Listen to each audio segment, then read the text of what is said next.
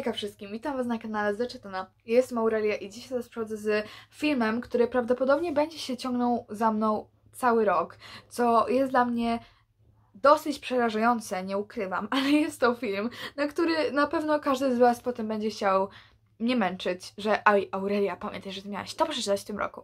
Więc, yy, więc tak, przychodzę dzisiaj do Was z dziesięcioma książkami, które są na moim TBR-ze na ten rok.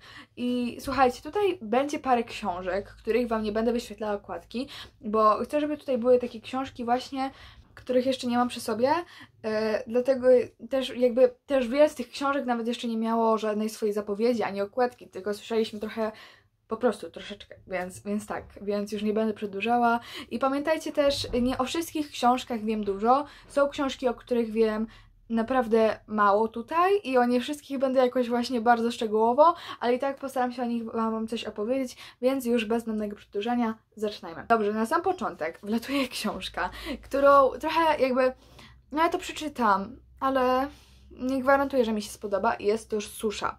Słuchajcie, jak właśnie jak już zaczęłam mówić, yy, ja fali bardzo nie lubię. Jakby każdy z Was wie, że ja bardzo fali nie lubię i nie wiem tak naprawdę, czemu chcę przeczytać ten drugi tom. Chyba chcę po prostu dać szansę, bo końcówka była taka całkiem ciekawa, a właśnie dzięki te, jakby miałam też taką podobną relację z pierwszym tomem Dotknij mnie, że e, ja ogólnie całej książki bardzo nie lubiłam, ale, pierwsze, ale potem ściągnę sobie na razie okulary, bo mam strasznie brudne, ok? E, a potem e, jakby ostatnie 60 stron było naprawdę ciekawych, więc no mam trochę takie, że może tu, temu też dam szansę, bo może akurat się trochę zmieni mi się spodoba, chociaż e, Maria Kresowka dawała ostatnio e, taką małą przebitkę tekstu z Chasing Paris. To dosłownie nawet nie było jedno pełne zdanie, ale było już tam młodzieżowe słowo, które mnie zakręciło, więc nie wiem jak to będzie tutaj. Mam nadzieję, że to jakoś jakby pójdzie w lepsze tory i już jakby będzie lepiej. Daję szansę. Zobaczymy. Następnie mamy książkę, która już została wydana i mnie tak świeżbi, żeby ją przeczytać. Mnie tak świeżbi, tylko jeszcze nie wiem kiedy. Ja muszę nagle dostać fazę i muszę od razu ją zamówić. Najlepiej, żeby od razu wtedy była już u mnie, no nie? Tylko nie wiem, jak ja to zrobię, ale słuchajcie, ja ją przeczytam. Tylko muszę. Chciałabym jeszcze tak do kwietnia maksimum. Nie jestem pewna, czy to wyjdzie, ale chciałabym po prostu, żeby, żeby właśnie do kwietnia, bo, ale ta książka jest taka mocno grubawa, więc wolałabym, żeby była jakaś przerwa.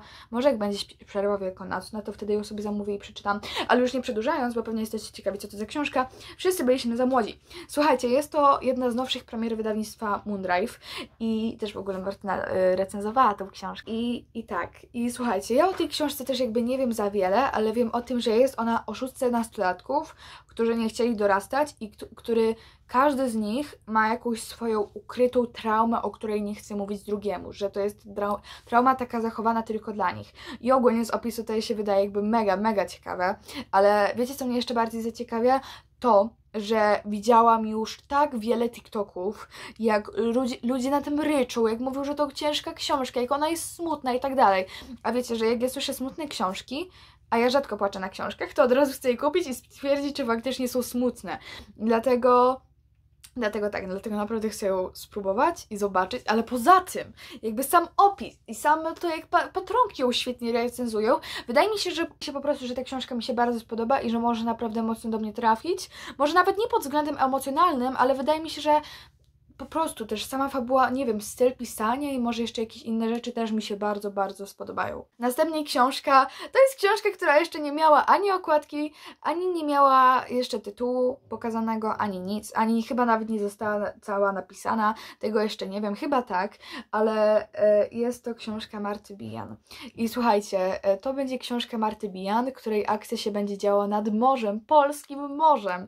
Dlatego jakby wiecie, ja jestem tym bardziej podekscytowana, bo po pierwsze Marta Bijan, yy, która wydaje mi się, że z każdą książką po prostu coraz bardziej do mnie trafia i której coraz bardziej mi się jej książki podobają i polskie morze, i woda, i woda, jakby to naprawdę mi wystarcza i po prostu Marta Bijan, która robi świetne zakończenia, świetne książki, świetne wyobrażenie bohaterów, po prostu Marta Bijan, ona jest świetną autorką książek i na pewno wszystkie książki jej młodzieżowe, które będą wychodziły, na pewno będę kupowała. Następnie mamy książkę. Y, Yellowface. I słuchajcie, z tą książką też jest taka historia, że ja na początku nie chciałam jej zbytnio czytać, ale po jakimś czasie mnie trochę ona skusiła.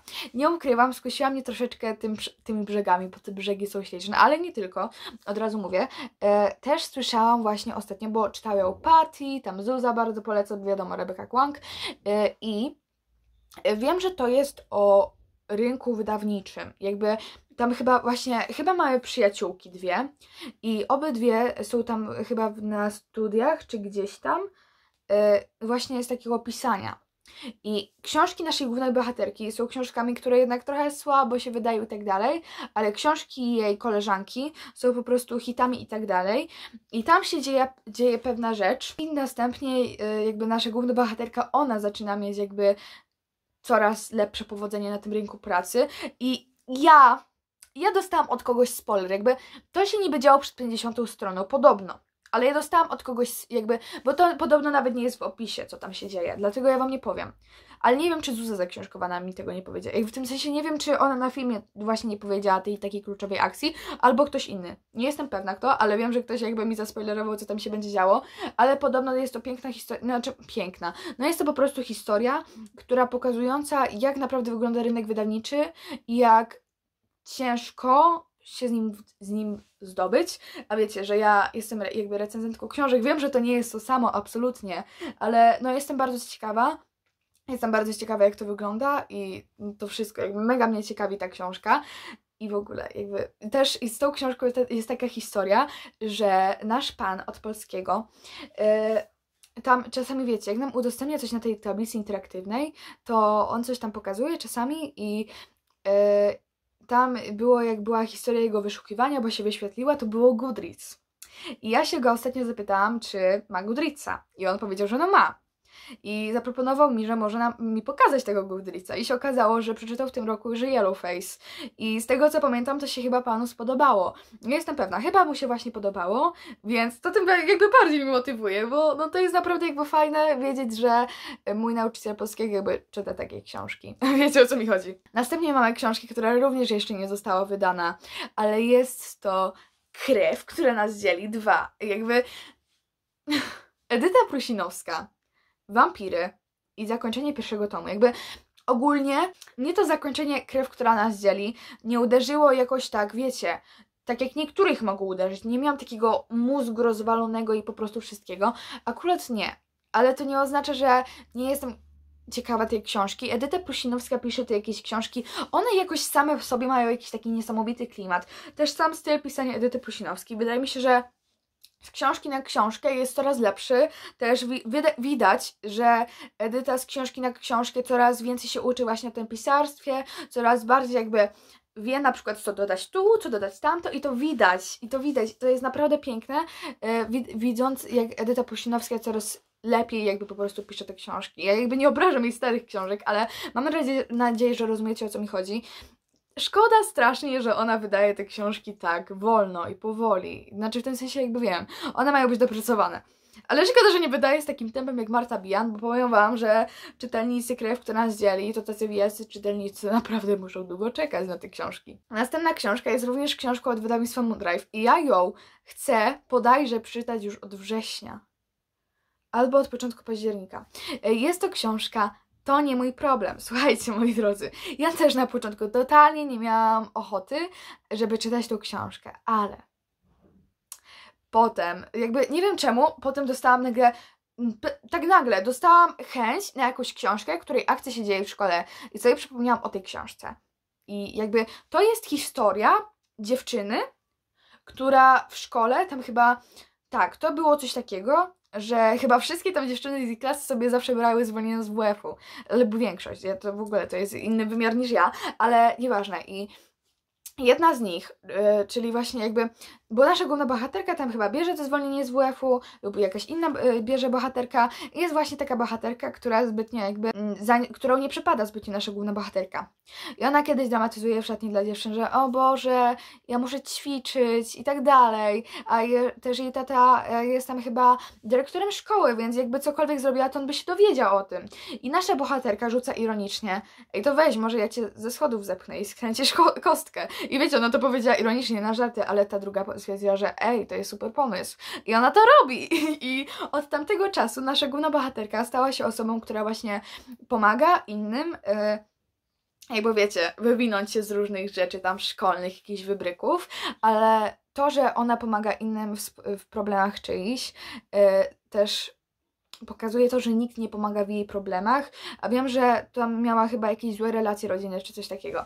I tutaj jest też e, Woman Love Woman, więc jakby nie wiem, strasznie mnie to ciekawi. Sama fabuła też jakby brzmi tak strasznie fajnie. Jakby wiem, jakby skręcenie czyjejś kostki nie jest fajne, ale nie wiem czemu właśnie takie bardzo nie wiem, ja po prostu, ja jak słyszę tą fabułę, to ja mam wyobrażenie tej fabuły takie, o, i tak i po prostu to się wydarzyło. I tak dla mnie brzmi właśnie ten cały opis i ta cała fabuła. I ja właśnie strasznie lubię takie książki, które właśnie taką mają fabułę, że tak coś, auto, y, coś bohaterka powie ironicznie, ale potem się wycho wychodzi, że jednak coś jest takiego głębszego za tym i się zaczyna cała fabuła. To jest strasznie fajne, mega takie lubię książki. Ja wydaje mi się, że chyba ta książka właśnie ma takiego dużo sarkastycznego humoru, który jest też trochę moim humorem. Następnie mamy książkę waleczna.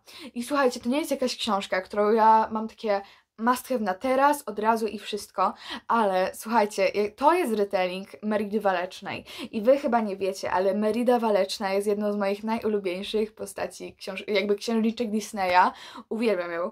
I tutaj mamy taki retelling, tylko że to jest tak trochę Merida, a trochę nie Merida, bo tutaj jeszcze do ogólnej Meridy chyba jest dorzucone yy, wątek romantyczny Enemies to Lovers. A wiecie, Merida, waleczna i połączenie Enemies to Lovers to jest coś cudownego. I w ogóle jeszcze zachęciła mnie w ogóle On True Lovers. Tak ona się na... Nie, nie. Na pewno nie On True Lovers. Bo On Lovers to jest angielski tytuł Jedyni Prawdziwi Kochankowie. Ogólnie. Olivia z TikToka. Nie wiem, czy chyba wy ją ko kojarzycie, bo podałam jakiś podobny chyba jej, chyba jej nazwę konta. Możecie mnie poprawić w komentarzach. Ale ona też mnie strasznie tym zachęciła, więc jakby dziękuję bardzo. I, i tak, i Merida Waleczna, jakby to mi wystarcza. Następnie mamy biografię, którą zobaczyłam kiedyś w Empiku i tak przeczytałam opis i trochę jakby ja ma, bardzo mało wiem o tej postaci, jednak właśnie takie biografie są po to, żeby mocniej się z nimi zaznajomić i jest to kobieta, którą jestem i jest to biografia Britney Spears. I Britney Spears jest taką postacią mocno kontrowersyjną w internecie, z tego co słyszałam, bo ja ogólnie bardzo mało ją znam. Słyszałam też trochę, coś tam usłyszałam kiedyś o tam jej przeszłości i stwierdzam, że to jest mega ciekawe. A jak czytałam, cieszę się, że moja mama umarła i po drugiej stronie różdżki, jakby po drugiej stronie różdżki było, różdżki było takie Okej, okay, show nie było, ale Janet była superowa. E, dlatego jestem mega ciekawa tej książki, jak ona wyszła. I no, też bardzo mało znam tą to chyba jest modelka? Chyba modelka. Przepraszam, jeśli się mylę, ale y, jeśli tak, to ogólnie jestem mega ciekawa, bo wiecie, nie dość, że poznam jej całą historię, to pewnie się dowiem jeszcze wielu smaczków, których nie było tam w jakichś artykułach, które mm, autorka dorzuciła od siebie w tej książce. Następnie mamy y, książkę Opowiedz mi na nowo. I jest to książka. Która jest podobnym połączeniem Arystotelesa i Dantego i, i zakochaliśmy się w nadziei. I ja mam tak. Ari i Dante. Uwielbiam, kocham Ariego i Dante.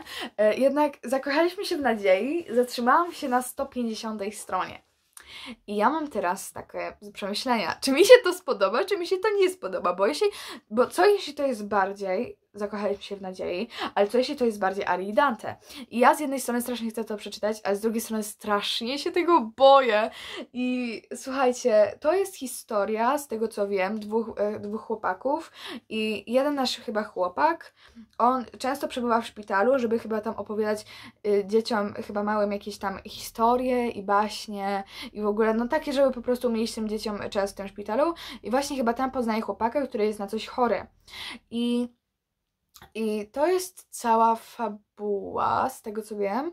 E, cóż, widziałam też troszeczkę u Nadi na TikToku o tym i jakby z tego co trochę, bo wiecie, tam podczytywałam parę pierwszych e, tam zdań i trochę z pierwszego rozdziału, bo ona tam robiła jakiegoś TikToka, mm, to jest jakby mało istotne, ale wydawało mi się to napisane tak bardzo ładnie i bardzo poetycko, więc też raczej się za to zabiorę i...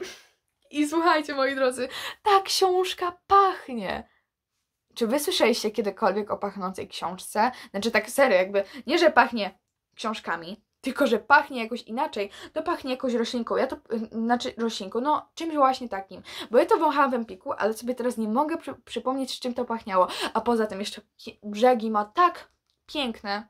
Jestem absolutnie zakochana w tej książce, jakby w tym wydaniu, w tej, tej w wydaniu tej książki. Naprawdę jakby jestem zachwycona i też jakby, no muszę sprawdzić, czy to jest bardziej zakochaliśmy się w nadziei, czy Ari i Dante.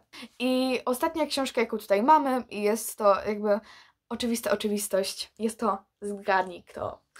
Słuchajcie, jest to dodatek do przewodnika po zbrodni. To jest niby jakby to jest niby książka, którą można czytać przed całym przewodnikiem, ale ja jakbym miała, jakby ja tego, ja tego jeszcze nie czytałam, ale ja nie wiem, ja bym polecała to czytać po przewodniku, nie wiem, jakby ja jeszcze nie czytałam, ale wydaje mi się, że właśnie do tego jakoś mi się nie zmieni, no po prostu, nie wiem, jeszcze nie, ja jakby, jakby chyba nie, nie mam prawie nic pojęcia na temat tej książki, ale znaczy, ja myślałam dawniej coś, i się okazało, że się myliłam, ponieważ yy, dawniej się e, jakby dawniej myślałam, że to jest historia po grzecznej dziewczynce musi zginąć i, do, i myślałam, że się dowiemy tej jednej rzeczy, która się wydarzyła na ostatniej stronie Grzecznej Dziewczynki musi zginąć.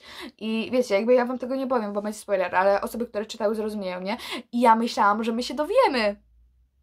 Ale ewidentnie się nie dowiemy, to jest dla mnie trochę przykre, ale chyba wiem, że tam ktoś zostanie zapro zaproszony na przyjęcie, jakieś zaproszenie ma na urodziny i chyba to zaproszenie dostaje Pip.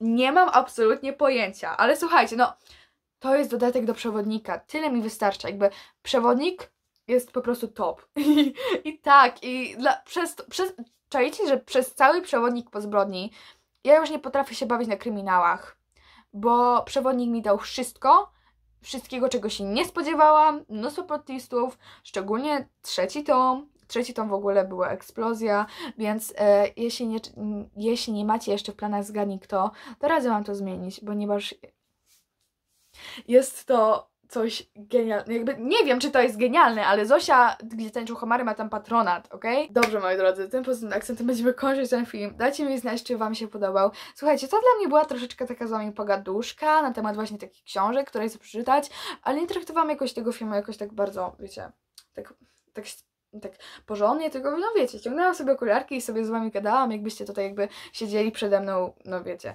I tak, i typu z akcentem będę się z wami żegnała. Dajcie mi koniecznie znać, jakie wy książki chcecie przeczytać w 2024 roku. Życzę wam miłego dnia, bądź trzymajcie się, cześć!